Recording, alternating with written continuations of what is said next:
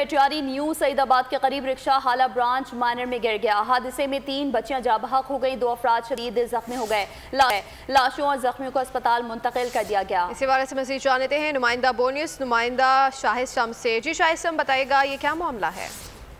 जी बिल्कुल अफसोसनाक वाक़ पेश आया है। मटियारी की तहसील है न्यू सईदाबाद में।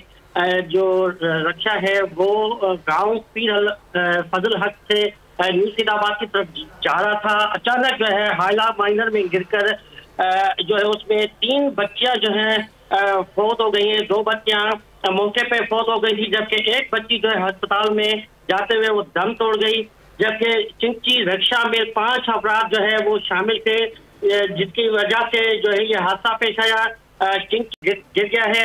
जबकि यहाँ पर बताया जा रहा है, दो साल नूरजहां है पारस है और राबिया मल्ला है जो तीन नाम सामने आए। एक ही घराने के ये तीन बच्चियाँ हैं। एक बदनसीब घराना जिसके जिसके साथ ये हादसा पेश आया है। चिंकी रक्षा जो है हाला के करीब जो है हाला मैदान में गिर गिरा है जिसके बाईस शाह शम्स तफसील आगा करे थे। आपका शुक्रिया।